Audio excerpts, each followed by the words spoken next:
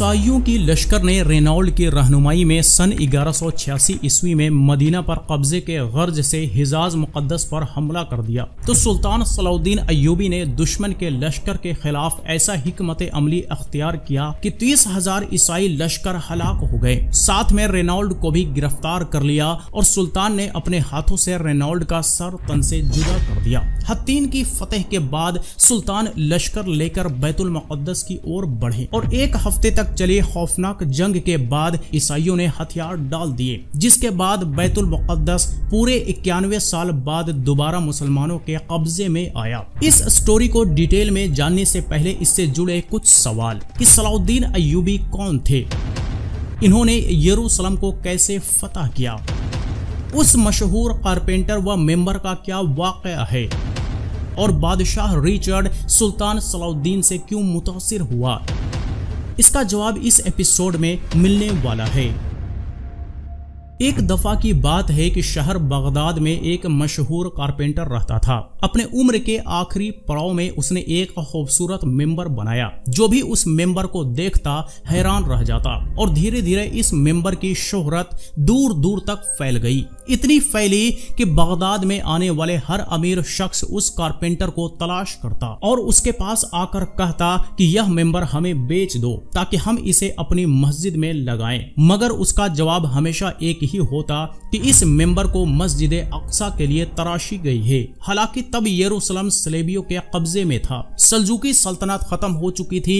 Anatolia और मोसोपटामिया कई छोटी इस्लामी रियासतों में बट गई थी और वे आपस में मुसलसल झगड़ते रहते थे, जो कि मुसलमानों को अंदर ही अंदर कमज़ोर कर दिया था। इन चैलेंजेस के बीच यरूशलेम वापस लेना मुसलमानों के लिए सिर्फ़ एक ख्वाब था। ऐसा ख्वाब जो हकीकत से दूर था। बावजूद इसके कारपेंटर पूरे कॉन्फिडेंस के साथ सबको यही जवाब देता कि, काश किसी दिन कोई बहादुर मुसलमान उठे और यरूशलेम आज़ाद करवाए। तो यह मेंबर अपने असल मुकाम पर पहुँच जाए। उस मेंबर की शोहरत तकरीबन हर शहर में पहुँच गई थी। जब लोगों के बीच इसकी बेमिसाल खूबसूरती की बातें होने लगी तो आठ साल के एक बच्चे ने भी यह दास्तान सुनी। मगर वो मेंबर की खूबसूरती से ज़्यादा उसके बनाने वाले के जज्बे से मुतासिर हुआ और फिर 40 बरस बाद वो मेंबर उसी बहादुर के हाथों मस्जिद अक्सा में पहुँच गया, जिसे लोग आज सलाहुद्दीन अयूबी के नाम से जानते हैं। सलाहुद्दीन अयूबी की पैदाइश सन 1138 ईस्वी में कुर्दिस्तान के एक कबीले में हुई। आप नस्ल से कुर्द थे। आपके वालिद का नाम नजमुद्दीन अयूब था, जो तिकरित किले के हाकिम थे। सलाहुद्दीन अयूबी का बचपन और जवानी की शुरुआती दौर दमिश्क और बालबक में गुजरा।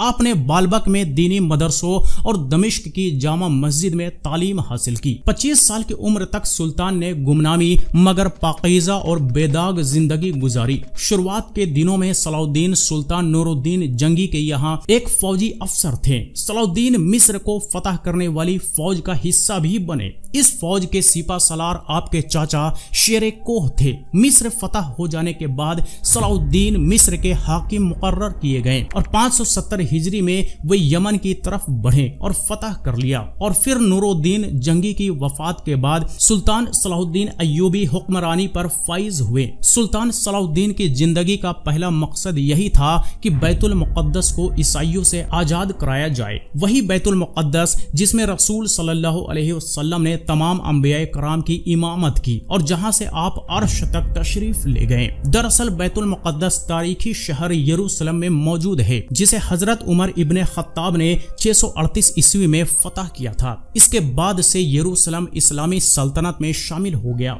इस्लामी सल्तनत दिन ब दिन मज़बूत होती चली गई और यरूशलेम मुस्लिम खिलाफत और आबादी वाला शहर में तब्दील हो गया। लेकिन मुसलमान खलीफा ने तमाम मजहबों के मानने वालों को बैतुल मुकद्दस में आकर तवाफ और जियारत करने की इजाज़त दे रखी थी। और साथ में यह भी ऐलान किया गया था कि अगर यहूदी या ईसाई लोग यरूशलेम में कुछ दिन रुकना चाहें तो उसकी भी उन्हें इजाज़त है। लिहाजा उन लोगों ने बैतुल मुकद्दस में गाना बजाना और रक्स करना शुरू कर दिया। उस वक्त इस्लामी रियासतें सलजूक तुर्क के हाथों में थी। लिहाजा सलजूकों ने ईसाइयों से गुजारिश की कि वो बैतुल मुकद्दस के पाकिजगी का ख्याल करे और इस मुकद्दस शहर का एहतराम करे, वरना उनके खिलाफ सख्त कार्रवाई की जाएगी। इस दौरान एक जहीन ईसाई पीटर ने कुछ मन गढ़ंत कहानियाँ लोगों के बीच सुनाई और ईसाइयों को इस बात का यकीन दिलाया कि मुसलमान उन पर जुल्म कर रहे हैं। उसने अपने साथियों के साथ बर्तानिया, जर्मनी, इटली, यूनान और तमाम बड़े बड़े यूरोपीय देशों का सफ़र किया और ईसाइयों को मुसलमानों के खिलाफ उकसाया,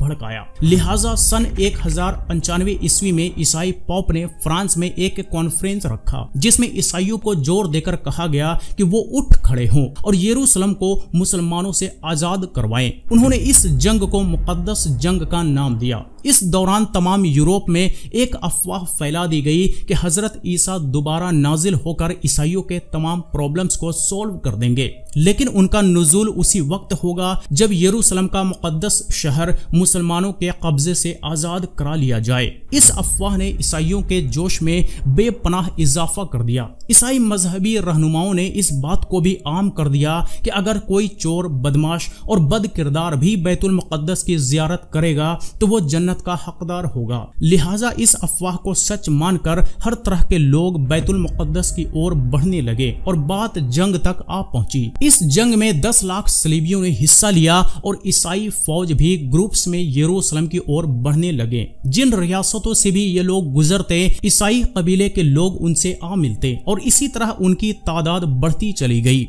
तकरीबन पूरा यूरोप हथियारों से लैस यरूशलेम की तरफ़ बढ़ रहा था। जब ये लोग यरूशलेम पहुँचे तो सलजूक फौज से उनका सामना हुआ। लेकिन 40 दिनों के बाद सलजूकों ने हथियार डाल दिए और ईसाई लश्कर व हमलावर यरूशलेम में दाखिल हो गए और मुसलमानों को बेदर्दी से कत्ले आम किया। तारीखी किताबों के मुताबिक यरूशलेम की गलियाँ घुटनों तक खून में डूबी हुई थी। पूरे शहर में मुसलमानों की लाशें बिखरी पड़ी थी। बर्बरियत का ये आलम था कि मुसलमानों को उनके घरों के छतों से नीचे फेंक दिया जाता व उन्हें ज़िंदा जला दिया जाता। मस्जिद भी मुसलमानों के खून से भरी हुई थी। तारीख में ऐसी बर्बरियत कहीं देखने को नहीं मिलती। आठ दिनों के उस बर्बरियत में तकरीबन साठ हज़ार मुसलमान कत्ल कर दिए गए। शहर को फतह करने के बाद ईसाइयों ने अपने पॉप को यह खबर दी कि हमने शहर फतह कर ली है और हमने मुसलमानों का ऐसा खून बहाया है कि जब हम हज़रत सुलेमान की इबादत गाह में दाखिल हुए तो हमारे पाँव मुसलमानों के खून में धसे हुए थे। यरूशलेम पर ईसाइयों के कब्जे के बाद पूरी मुस्लिम दुनिया गुस्से में थी। लेकिन खलीफा इतना कमज़ोर था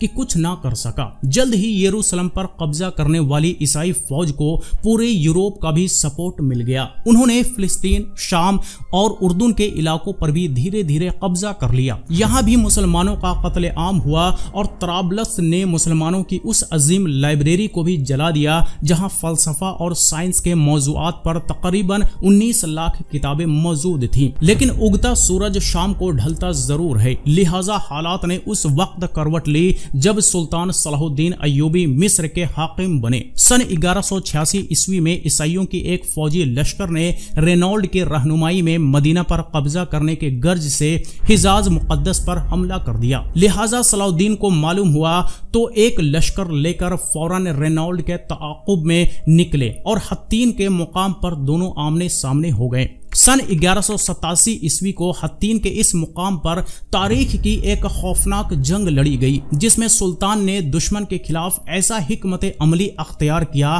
कि तीस हज़ार ईसाई हलाक हो गए और इतने ही कैदी बना लिए गए। रेनाल्ड को भी गिरफ़्तार कर लिया गया और सुल्तान ने अपने हाथों से उसका सर कलम कर दिया। हत्तीन की खबर आग की तरह ईसाई दुनिया में फैल गई और पूरे यूरोप में सलाहुद्दीन का खौफ बैठ गया, जिसने मुट्ठी भर लश्कर के ज़रिए साठ हज़ार ईसाइयों को धूल चटा दिया था। हत्तीन की फतह के बाद सुल्तान अपना लश्कर लेकर बैतुल मुकद्दस की ओर रुख किया और एक हफ़्ते तक चली जंग के बाद ईसाइयों ने हथियार डाल दिए। बैतुल मुकद्दस पूरे इक्यानवे साल बाद दोबारा मुसलमानों के कब्जे में आ गया। लेकिन फतह के बाद सुल्तान सलाहुद्दीन ने कैदियों के साथ मुनसफाना सलूक किया। आपने हर किस्म की लूट मार से लोगों को मना किया कत्ले आम से रोका। शहर में मौजूद तमाम ईसाइयों को माफ़ी दे दी। रहमदिल सुल्तान ने फिदिया की नहायत ही मामूली रकम मुकर्र की और जो लोग वो अदा ना कर सके, उन्हें बगैर अदायगी के शहर छोड़ने की इजाज़त दे दी गई। सुल्तान ने जिस तरह ईसाइयों और यहूदियों से बर्ताव किया था,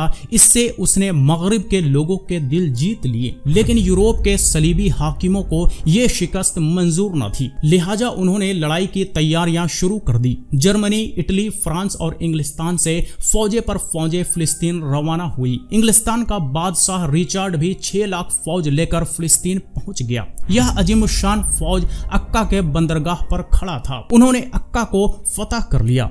अक्का की फतह के बाद सलीबियों ने फलस्तीन के बंदरगाह अस्कलान का रुख किया, जहाँ सुल्तान सलाउद्दीन अयूबी से उनका बारह मरतबा मुकाबला हुआ। इस मुकाबले में सुल्तान ने जवा मर्दी और बहादुरी की मिसालें पेश की, लेकिन चूँकि किसी भी मुसलमान हुकूमत या खासकर खलीफा बगदाद से कोई मदद न पहुँची, लिहाजा सुल्तान को पीछे हटना पड़ा। इस दौरान में सुल्तान ने बैतुल मुकद्दस की तैयारी मुकम्मल की, क्योंकि अब सलीबियों का अगला निशाना बैतुल मुकद्दस था 1190 ईस्वी में तीसरी सलीबी जंग का आगाज़ हुआ, जिसमें सुल्तान की छोटी सी लश्कर ने यूरोप के अजीम फौज का बड़ा जरूरतमंदी से मुकाबला किया। जब फतह की कोई उम्मीद बाकी न रही तो सलीबियों ने आखिरकार सुलह की दरख्वास्त की। जंग के दौरान बादशाह रिचर्ड और सुल्तान सलाउद्दीन का आमना सामना हुआ तो सुल्तान के एक ही वार से रिचर्ड का घोड़ा गिर पड़ा और मर गया। रिचर्ड बेबसी का हालत में खड़ा था। सुल्तान चाहता तो एक ही वार में उसका काम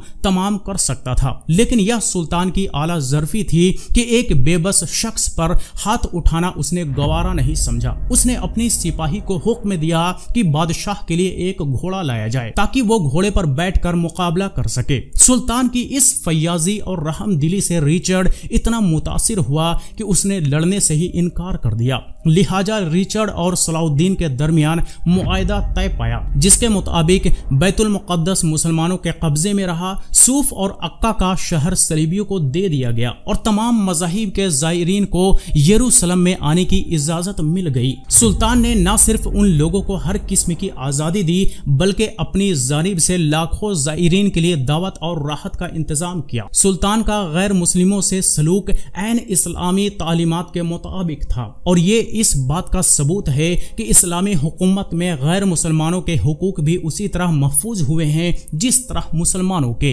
अपने तमाम फतूहत और सल्तनत के बावजूद सलाउद्दीन ने इंतहाई सादगी और फख्र की ज़िंदगी गुजारी। पाँच अमीर तरीन सल्तनत, यानी शाम, ईरान, मिस्र, हिजाज और यमन का मालिक होने के बावजूद उनका अपना कोई घर नहीं था। पूरी ज़िंदगी आम सिपाहियों सा लिबास पहना। गुर्बत का ये आलम था कि उनके पास कोई ज़मीन या जायदाद नहीं थी। पूरी ज़िंदगी हज की तमन्ना में काट दी, मगर माली तंगी और गुर्बत ने आपको इतना मौका तक नहीं दिया कि बैतुल्लाह तक का सफ़र कर पाए। सन ग्यारह ईस्वी में पचपन साल की उम्र में आपकी वफात हुई। वफात के बाद आपके घर से सिर्फ़ सैतालीस दिरहम बरामद हुए, जिस रकम से उनकी तदफीम तक नहीं हो सकती थी। चुनाचा आपके कफन व दफन का खर्च दमिश्क के काजी ने अपने जेब से अदा किए। आज वही सरजमीन शाम और सरजमीन कुदूस जहाँ पर मुसलमानों पर जुल्म के पहाड़ तोड़े जा रहे हैं। अल कुदूस जो आज बदकिस्मती से पंजाए यहूद में जकड़ा हुआ है ये सरजमीन आज फिर से इधर उधर नज़र दौड़ाकर किसी सलाहुद्दीन अयूबी का इंतज़ार कर रही है।